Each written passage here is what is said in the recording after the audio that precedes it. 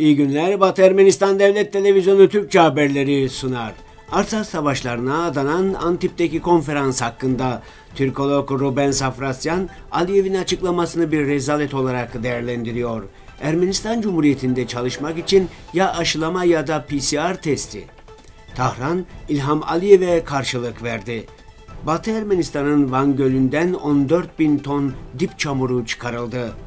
Guterres, dünyadaki nükleer tehditi son 40 yılın en yüksek seviyesine ulaştı. Batı Ermenistan'ın Ermeni Gampır cinsi köpeklerinin genetiği çiple korunacak. Ermenistan Cumhuriyeti Ulusal Kütüphanesi ile Kilikya Ermeni Katolikosluğuna ait Madina Taran bir muhtıra imzaladılar. Batı Ermenistan Batı Ermenistan Devlet Başkanı Armenak Abrahamyan'ın yeni çalışma dönemi çok aktif başladı. Konferanslar, sergiler, anma etkinlikleri ve toplantılar. Başkanın gündemi yabancı ve diplomatik meselelerle de dolu. Antip Jean Le Pen Belediyesi ve Kombatant Evi, Devlet Başkanı Armenak Abrahamyan'ı 27 Eylül 2020'de başlayan 44 günlük savaşın ardından Artsak'taki mevcut durumu sunmaya davet etmişti. Dop dolu salonda şehitler anısına bir dakikalık saygı duruşundan sonra Batı Ermenistan Devlet Başkanı Armenak Abrahamyan tüm konuklara ve katılımcılara teşekkür etti. Fransız Gaziler Derneği Başkanı, Ermeni direnişi üyeleri Jean Gazarosyan ve Ermeni gazileri destekleyen Ulusal Birliği Başkanı Varej Abrahamyan, Ermeni toplumunu büyük şerefle temsil ettiler.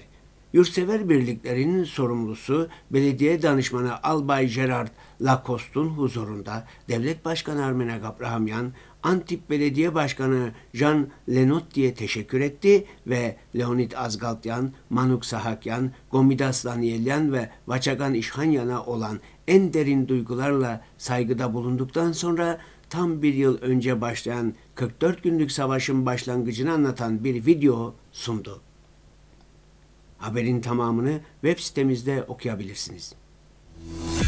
Aysor.im'e konuşan Türkolog Ruben Safrasyan, Aliyev'in Türkiye ile ilişkileri normalleştirmek için Ermenistan Cumhuriyeti'nin yeni bir anayasa kabul etmesi gerektiğini açıklamasının kabul edilemez olduğunu söyledi. Türkolog, komşu ülkemizin başka bir komşu ülkenin kışkırtmasıyla Ermenistan Cumhuriyeti'nin anayasasını değiştirmesini talep eden en yüksek yetkilinin böyle bir açıklama yapmasını utanç verici buluyorum. Bu medeni ilişkilerin tüm çerçevelerini aşıyor. Bu tam olarak Türkiye ve Azerbaycan'ın Ermenistan Cumhuriyeti'nin iç işlerine karışmaya başladığı anlamına geliyor. Benim için kesinlikle kabul edilemez dedi. Türk Anadolu Ajansı ile yaptığı reportajda Azerbaycan Cumhurbaşkanı onların öncelikle yeni bir anayasa geliştirip kabul etmeleri gerekiyor. Ermenistan Cumhuriyeti gibi zayıf, tamamen yıkılmış bir ülke, Türkiye gibi güçlü bir ülkeye nasıl toprak iddiasında bulunabilir? Akıl hastalığı gibi yani vazgeçmek zorundalar dediğini sizlere hatırlatalım. Ermenistan Cumhuriyeti'nde tüm kurumlarda ve iş yerlerinde çalışanlar 1 Ekim'den itibaren ya aşı sertifikasına ya da PCR test sonucuna sahip olmalıdır. Hukukçular bu düzenin bir dizi temel insan hakkını ihlal ettiğini düşünüyor. Sağlık Bakanlığı'nın ise bu konuda farklı bir görüşü var. Bu yeni kural Ermenistan Cumhuriyeti'nde panik yarattı. Ülke nüfusunun çalışabilen kısmı aslında aşı olmaya veya ayda iki kez PCR testi yapmaya zorlanıyor. Ancak Ermenistan Cumhuriyeti'nde aşılanan insanların Ermenicesi tagavarak olan COVID-19 ile enfekte olduğu vakalar da kaydedildi. Uzmanlar bunu doğrulamakla birlikte aşılanmış kişilerin enfeksiyon kapma olasılığının çok daha düşük olduğunu ifade ediyorlar. Uzmanlar haklı olarak Sağlık Bakanı'nın emrinin sadece anayasaya değil çalışma mevzuatına da aykırı olduğuna dikkat çekiyor. Muhalefet milletvekilleri bakanın kararına Anayasa Mahkemesi'nde itiraz etmek istiyor. Sağlık Bakanlığı'na göre aşı sağlığın önlenmesinde kilit rol oynuyor, dolayısıyla da ücretsiz. İran İslam Cumhuriyeti Dışişleri Bakanlığı Sözcüsü Saed Hatipzade, Tahran'da düzenlenen briefingde İlham Aliyev'in son sözleri hakkında yorumda bulunarak Azerbaycan Cumhurbaşkanı'nın son açıklamaları bizi üzüyor dedi. Aliyev, Türkiye'nin Gerici Anadolu Ajansı muhabirine yaptığı açıklamada İran'ın Azerbaycan sınırlarında geniş çaplı askeri tatbikatlar düzenlemesini eleştirdi. İran İslam Cumhuriyeti Dışişleri Bakanlığı resmi temsilcisi Azerbaycan Cumhurbaşkanı'nın görüşlerini ifade etme şekli sürpriz oldu çünkü iki ülke arasındaki iyi komşuluk, karşılıklı saygıya dayalı ilişkiler var. Ayrıca en üst düzeyde iletişim halinde bulunma olanakları da mevcut dedi.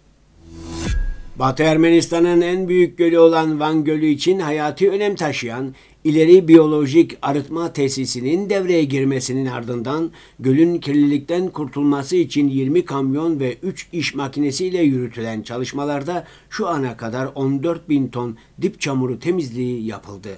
Devreye giren tesis günlük 200 bin metreküp suyu arıtabilecek. Birleşmiş Milletler Genel Sekreteri Antonio Guterres, küresel nükleer silah tehdidinin 40 yılın en yüksek seviyesine ulaştığını söyledi. Guterres bu düşüncesini uluslararası nükleer silahların tamamen ortadan kaldırılması gününe adanan Birleşmiş Milletler Genel Kurulu oturumunda ifade etti.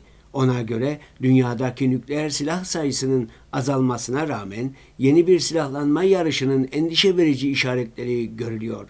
Guterres, umut işaretleri var. Rusya Federasyonu ve Amerika Birleşik Devletleri'nin stratejik saldırı silahlarını azaltma anlaşmasını uzatma kararı ve stratejik bir diyaloğun başlatılması olumlu bir adımdır. Ocak ayında nükleer silahların yayılmasını önleme anlaşmasının yürürlüğe girmesi de benzer bir adım diye açıkladı. Birleşmiş Milletler Genel Sekreteri sonsuz nükleer rekabete son verilmesi çağrısında da bulundu.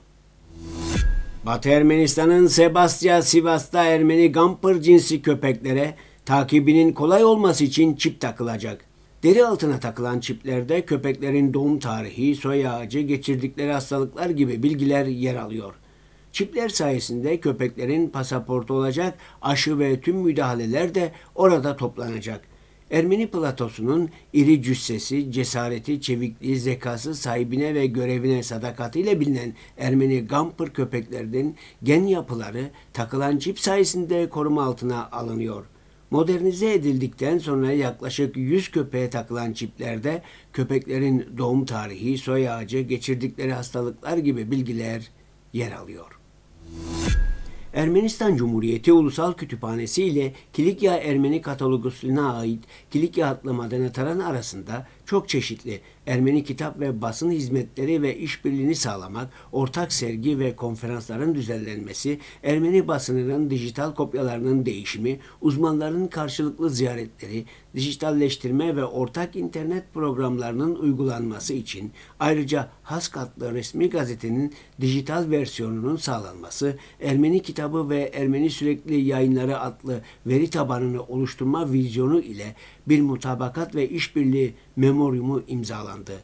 Bu vesileyle Ermenistan Cumhuriyeti Ulusal Kütüphanesi Müdürü Anna Çulyan, Ulusal Kütüphanenin Kilikya adlı madenataran ile işbirliğine yıllar önce başladığını belirtti.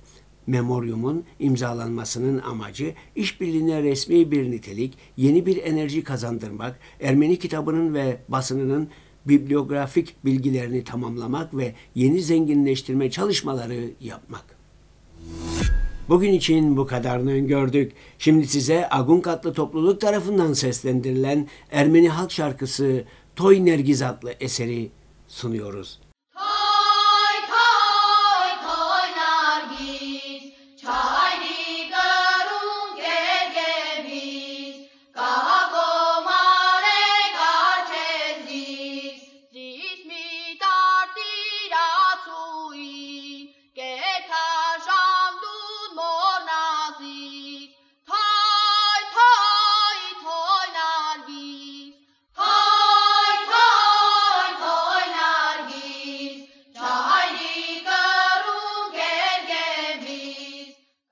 Eserin tamamını Batı Ermenistan Devlet Televizyonu'nun resmi sitesinden izleyebilirsiniz.